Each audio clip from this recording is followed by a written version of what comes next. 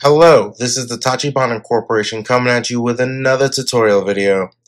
And today we'll be showing you guys how to do your first initial setup on a Steam Deck. So after you turn it on, it'll take a little bit to boot up.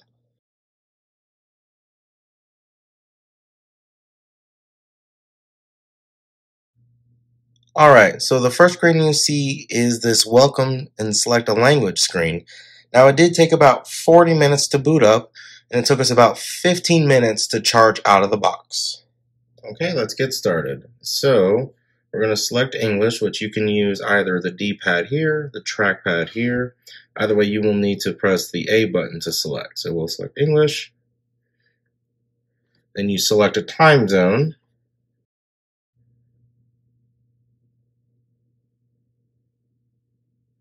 And then you will connect to a network. Right. You will attempt to connect to the network now. After it's connected, it'll ask you to continue. It's going to check for updates, which it probably has because it's probably been sitting in a factory for a month or two. After the install, it'll reboot.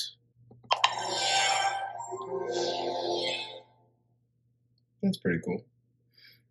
Okay, so after the reboot and the system update, it'll ask you to sign into your Steam account and you can create a new account right there if you don't have one. But for now, I have one that I've had for a long time. And something else that I noticed is this is actually a touchscreen. So you can just like that. Right after you've put in your username and password, you'll just hit sign in. And every time you sign on a new device with Steam, they always make you do this Steam Guard thing, where you simply put in the code that they emailed you. Once the code is in, you just hit sign in.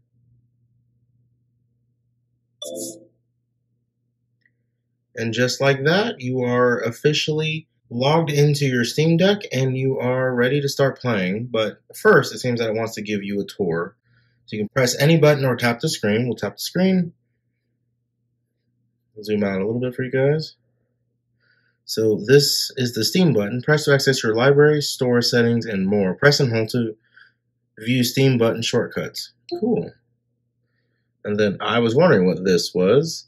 The quick access button. Quickly view your notifications, friends list, quick settings, and more. That's helpful. Yes, the power button is right here next to the charging slot. So you can press it once to suspend or resume the Steam Deck. Press and hold to access the power menu. Cool.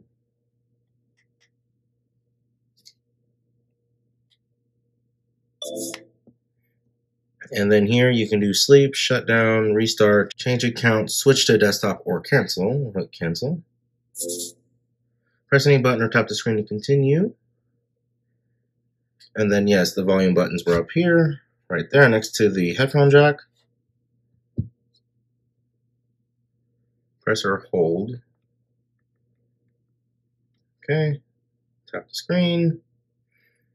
Last of all, down below is the micro SD slot, which is right here, which is right here at the bottom of the screen here. Okay, and then it says have fun. We hope you enjoy your Steam Deck. If you would like to see this tour again, you can access it from the quick access menu help replay guided tour.